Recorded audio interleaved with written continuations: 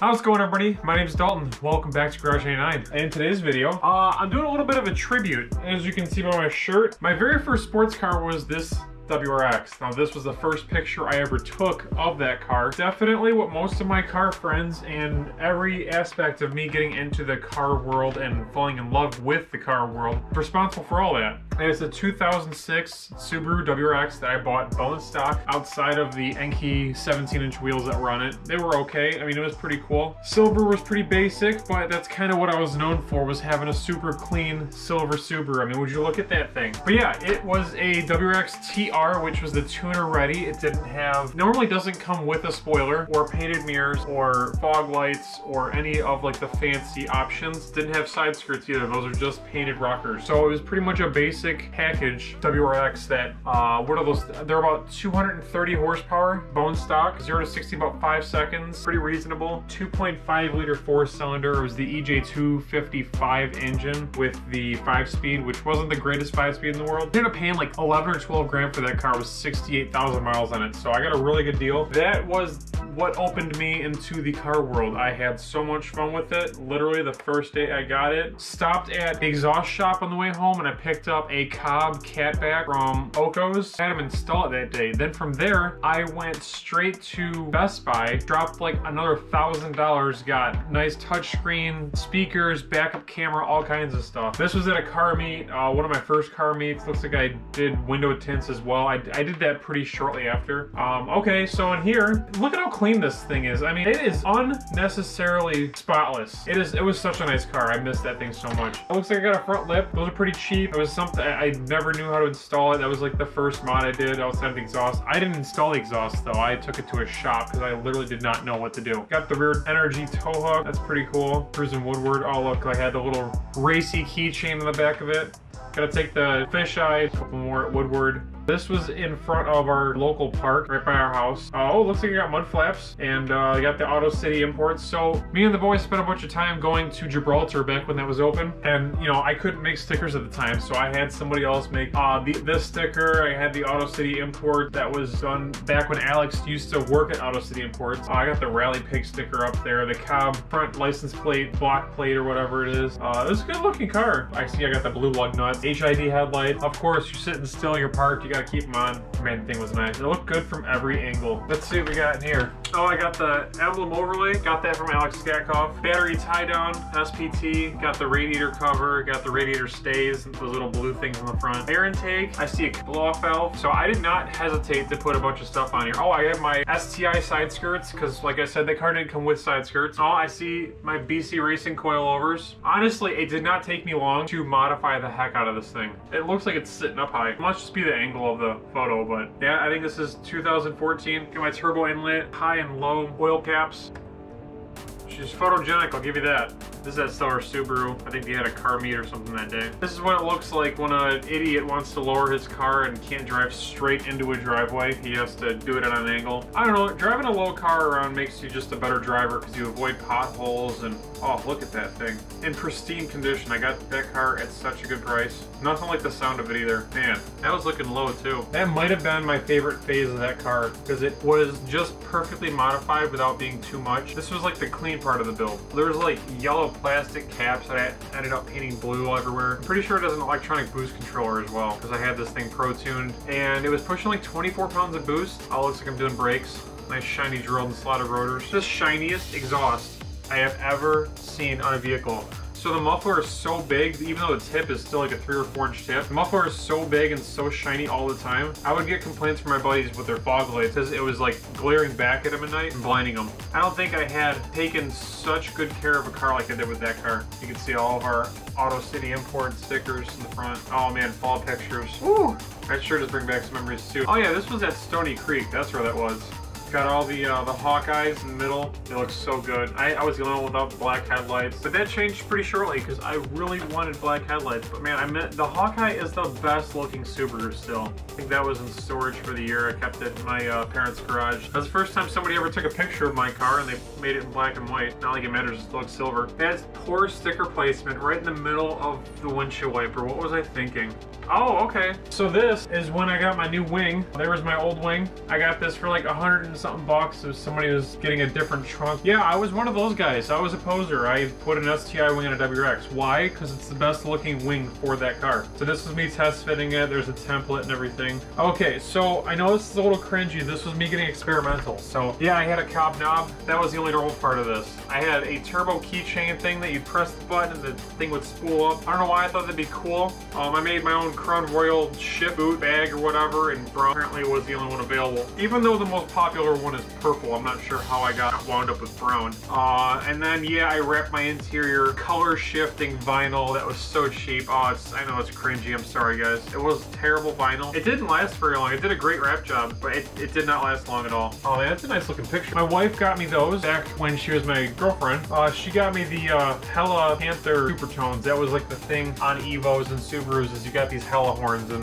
they actually they actually sounded pretty good. And there's me when I painted them silver. I thought they looked way better not being yellow and they blended in pretty well. Ooh, okay, so this is when I decided to do my own headlights. Note to self, if you don't know what you're doing, don't do your own headlights. The lenses, I just couldn't get clean enough and they got cloudy eventually. I do like the way I did it with all the black housing and I did like a, a silver finish on that to keep like the shine down on the inside of the headlights. I mean, they looked okay. There's my Hella Panthers. Those look pretty good in the front grill like that.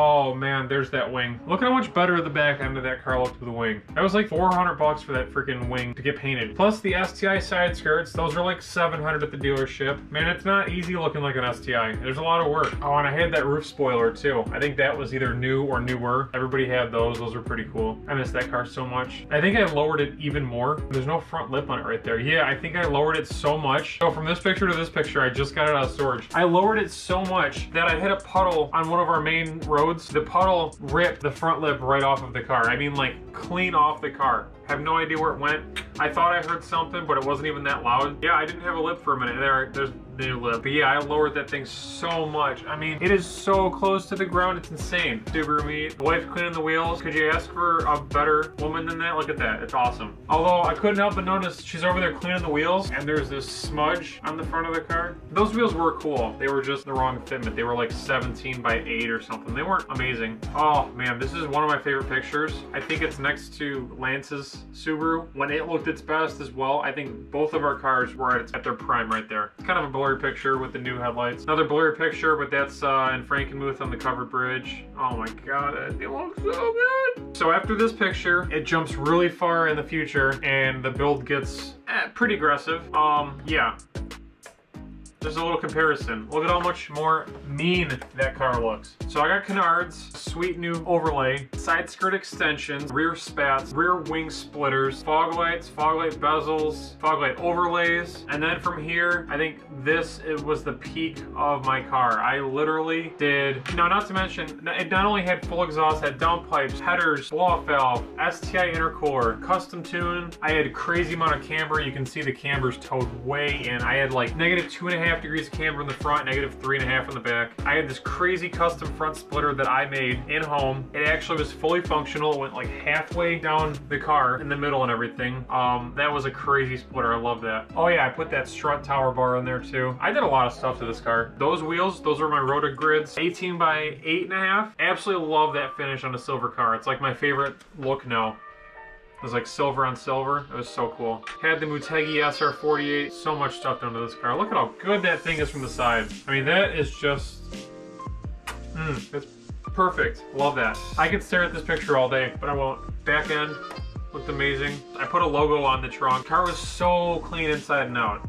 Okay, so let me explain this. Me and my wife, girlfriend at the time, got bored and we were like, yo, let's plasti dip the interior and then we'll throw paint on it and then we'll clear coat over it. But yeah, that honestly is, uh, that was the finished product right there of my car. I think I had it for four or five years and uh, I probably stuck just as about as much money into it as I had paid for the car. I loved every second of it. Sold it because I wanted to buy a house. Oh, here's like a, a sound clip of like almost like one of the last times that I even had the car.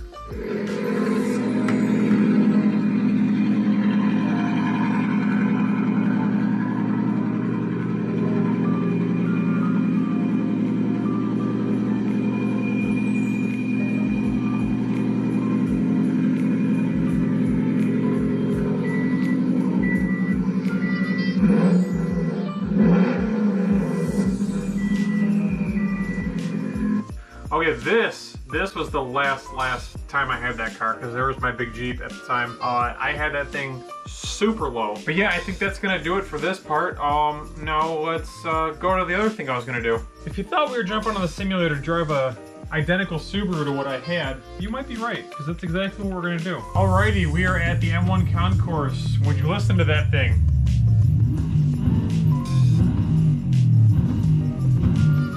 So let's do it for my Subaru.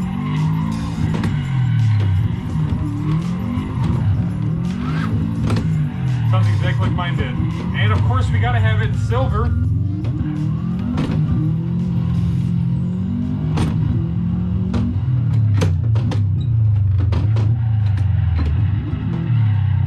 It's all-wheel drive, so there's tons of understeer. Woo,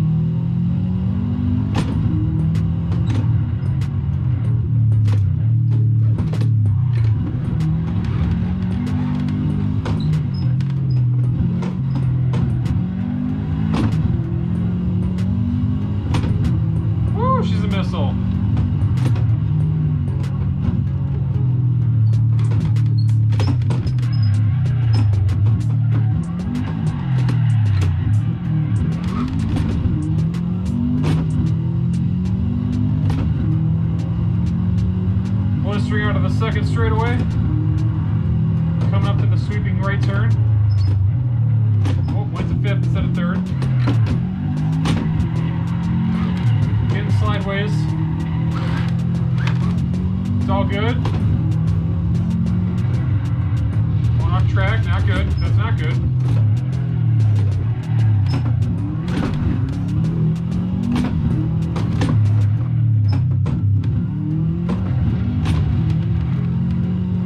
Crazy how sideways you can get in an all-wheel drive car.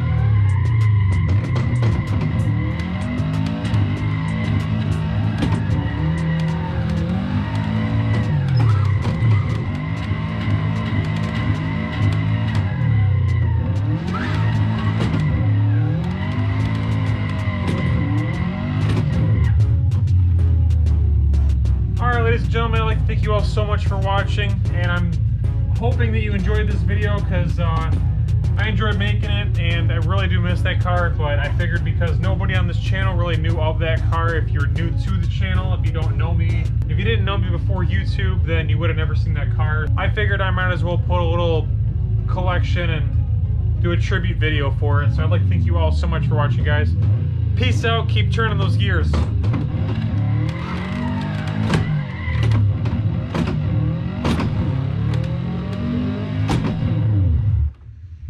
See that anymore.